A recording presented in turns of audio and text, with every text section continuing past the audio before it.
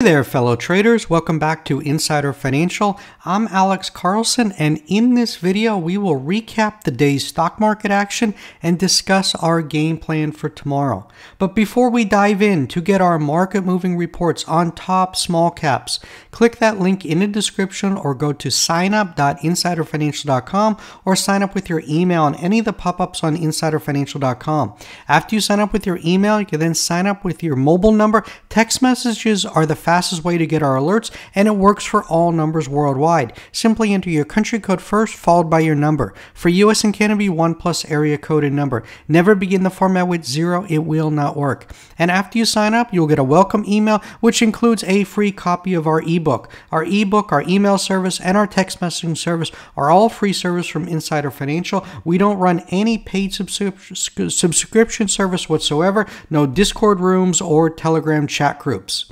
And speaking of reports, we sent out an alert this afternoon to subscribers. The stock closed up 12%. This is why it's so important to sign up for our alert service so you never miss these types of plays. While it's not a huge runner, I think most folks uh, will take what they can in this market. It certainly has been an ugly start to 2024 in the markets. This should be somewhat expected though, as markets rallied last year.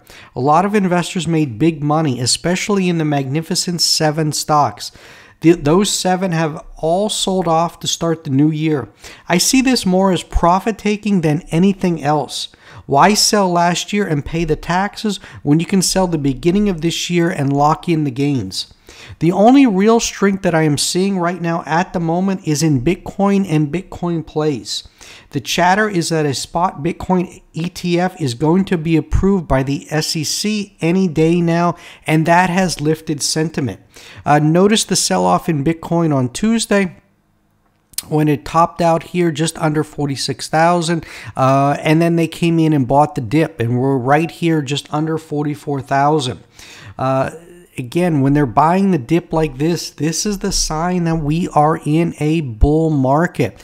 But again, uh, the only concern that I have is uh, that it could be buy the rumor, sell the news. So that if it is approved, uh, that could uh, sell off. I think it's actually bearish for uh, Coinbase. Why would you go through the hassle of opening up a Coinbase account when you can just buy the ETF if you want exposure to Bitcoin? But we shall see uh, how this all plays out.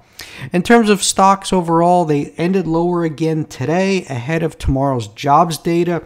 Uh, economists are forecasting 168,000 job additions for the month and expect the unemployment rate at 3.8%. As the market has priced in six rate cuts over the past two months, it would be bad news if the jobs report came in too strong, including elevated wage growth, as it would mean that the Fed may be unable to cut as rapidly as the market expects. On the other hand, the job market needs to remain strong enough to hint at a soft landing or no landing. After all, the market has priced in a scenario where the Fed is able to cut into strength, but a scenario where it is uh, forced to cut. Uh, Costco today, we got. Uh, Sales numbers after the close.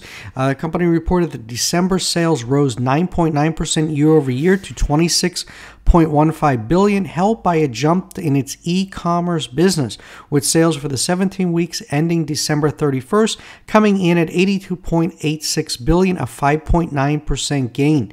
The membership retail chain said that in December, same-store sales overall rose 8.5%, with a 5.2 in, uh, increase for those 17 weeks. E-commerce sales in December were up 17.7%. Shares rose 0.8% after hours why am I talking about this? This is the uh, sign of the uh, health of the consumer, and it is strong. They spent last month, so that is indeed uh, a, a, positive sign, and a positive that the Fed is uh, coordinating a soft landing. From my last video, a couple of stocks that I talked about, uh, Alt ALT was up big, uh, not big, again, nothing's big right now. Uh, I know some low float runners are, are running up 100%, but again, these are one and done plays uh, on news, and then typically, especially in biotech, then you're getting an offering. So I wouldn't be chasing uh, these low float runners right now. Uh, ALT was up 17%. Nice day today. Uh, verge of, on the verge of new recent highs. 20.85% uh, of the float is short. So again, uh, we get above. I talked about this one last week. Uh, above 1250. we're going to really, really get the sh short scrambling. Uh, GSAT, GSAT, we're getting more insider buying. I posted this on uh, on uh, on StockTwits about the uh, insider buying. Uh, James Lynch, a director, buying you know 167, 170, 173, $1.93, all buying. And uh, again, these are $416,000 buy, $847,000 buy, $863,000 buy, and almost a $1 million buy. So, again, this is bullish, uh, and why I say to put this on your radar screen. We're consolidating above here. Uh, a lot of people are talking about that GSAT could be a big winner uh, this year. In terms of stocks that I covered uh, last time, like I said, uh, MicroStrategy, uh, you know, sold off uh, peaked above 720, pulled all the way to back to 630. Trading uh, right now at 655 again these are great swing trade opportunities. Uh, bitcoin right now this is where everyone's focused on. This is a hot sector right now and uh, going to give you plenty of trading opportunities. Uh, fisker again i had highlighted this one. We were attempting to squeeze the shorts, uh, couldn't get above $2. The stock is sold off. And this is really on the back of the overall market weakness. You know, when the when the SPY, QQQ are all selling off, it's really hard to get those short squeezes uh, happening. Uh, you know, you need a bullish market, and then that's when you know you just retail's buying. You get instant, you know, the short sellers scrambling, uh, and right now there's just not that urgency for them to scramble with the overall market selling off. And we're seeing that also in some of our big runners from last uh, last quarter. Uh, Carvana was down again, Affirm down again, and uh, U- Upstart UPST uh, down again. So again, making these rounding tops. So again, just a lot of charts. You know, what I've gone through just very very bearish uh, price action. Uh, you look here at the uh, the iShares Russell 2000 ETF, again, just getting this rounding bottom. Uh, you know, you got this gap almost filled here. Um, hopefully, this will be a sign of support and we bounce. But again, a lot of it is going to be the jobs data tomorrow. That is really going to be very, very important and it is going to be market moving. In terms of new stocks that I am watching, uh, QuantumScape, uh, QS was out with news today. Uh, news on their battery, which was indeed positive. Stock was up 43%. This is indeed a trend line breakout. So I think we're going to see uh, more uh, upside in QS uh, going forward. Uh, ACET had news today. This was indeed big news. just a $93 million market cap. the company has updated the cash runway into the second half of next year. Um, you're expanding clinical development of ADI-001 into autoimmune diseases. Following clearance of uh, IND, plan to initiate phase one clinical uh, study second quarter of this year, uh, focusing enrollment on mantle cell uh, lymphoma and ongoing uh, phase one clinical trial, given favorable complete response rate, durability, and safety. Uh, and looking at the chart again, this is just creeping up here. I think we're now above the uh, the 50 day uh, ne next target is the 200 day moving average of uh, 313 but again this one here last year was as high as 953 so I think uh, this one here is rounding bottom here. I think the worst is behind the company. I think we're going to see more upside uh, GCS GCT uh, talking about I talked about this one last month broke through the consolidation here at 14 uh, we're, we're on the verge of here uh, new highs we made new highs today. Stock was up 10% again nice slow steady climb. Uh, really like the price action in GCT 21.77% of the float is short. Again we're not getting these huge moves but again uh, it's just a slow steady grind and and that's the best thing you can hope for right now now in the markets. Uh, CCCC, this is another one from last month. Uh, the stock is consolidating uh, right here. A $25 million investment closed.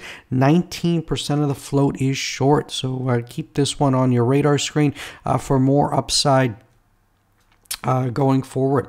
And again, uh, a lot of these are coming from screeners. Uh, again, short squeezes. Talking about this one, you can see uh, this here is the uh, you know high short percentage over 20%. Uh, DYN squeezing the shorts. BHG, ALT, which I've been covering nonstop, and then Mara. this one really nice moves here from $20. You know, sold off, rallied to $30 on on the Bitcoin run to uh, 46,000 sold off down to 20 on the pullback. We're at 26. These are great swings right now. Uh, and again, you got to take what you can in this market. Uh, it's a little bit difficult, and uh, we're just trying to help you guys as, as much as, as possible. And again, you can go and check out all our videos. Uh, there's a video I talk about how to formulate your trading plan with stock screeners I covered last month. I'm going to be talking more about educational videos, so make sure you hit that subscribe button. And in terms of uh, stocks, you know, I will also be scanning pre-market, uh, and if I see anything new to add, uh, I will let subscribers know. It's the fastest way to let you guys know. So make sure you sign up. And again, is completely free. Uh, go to click that link in the description or go to signup.insiderfinancial.com. And here at Insider Financial, we put stocks on your radar with potential outsized moves. As I repeatedly stated, there are always opportunities in the markets daily. The important thing is identifying which stocks to be in to grab that money. The key is trading green, not red. We are looking for those momentum plays that have catalysts. It's all about finding momentum before it happens and riding that wave. That's what we're doing here at Insider Financial. And to get our small cap reports, we cover low float, short squeezes, recent IPOs, biotech FDA plays, AI stocks, EV stocks, lithium stocks, and insider buying. Click that link in the description or go to signup.insiderfinancial.com or sign up on any of the pop ups on insiderfinancial.com. No spam, your info is never shared. Unsubscribe anytime. You can even sign up just to see the level of research we do here at Insider Financial and unsubscribe. And remember, Insider Financial and I are not investment advisors. This video does not provide investment advice. Always do your research, make your own investment decisions, or consult with your nearest financial advisor. This video is not a solicitation or recommendation to buy, sell, or hold securities. This video is our opinion, is meant for informational educational purposes only, and does not provide investment advice. Past performance is not indicative of future performance. Thanks for joining me today on Insider Financial. Hit that subscribe button and ring the notification bell to never miss the latest insights and strategies. Until next time, happy trading. This is Alex Carlson signing off. Bye bye.